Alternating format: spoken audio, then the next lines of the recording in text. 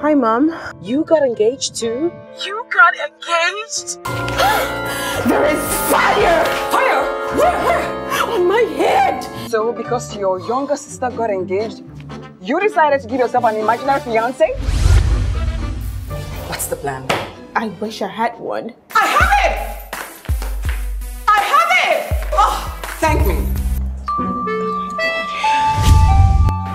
Sis, tell us about yourself. Of course now, I uh, was born in the States. Kind of States.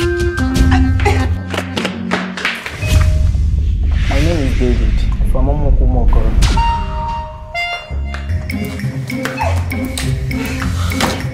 This is my friend, Jeff. Which kind of rough play be this one now? You mean say you won't carry my babe? The girl will make me the jog this full estate. What can I go result to meet her parents? So, we leave tomorrow.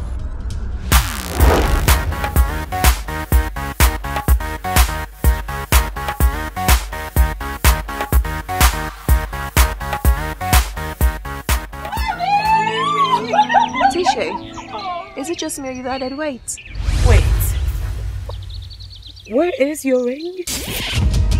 Or you didn't get one? How did you lose your engagement ring? What is your problem? I think you're lying. I don't think you're engaged or even have a man in your life to start with. He kissed me. Oh my goodness! Is he a good kisser? What did it feel like?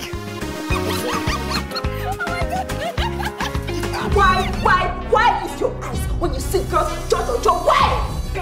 Talking to you, you will not walk out of me. No, no, you listen to me. No, you heard me.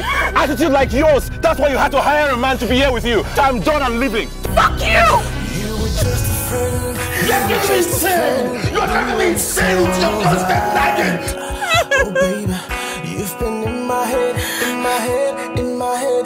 You know it's okay.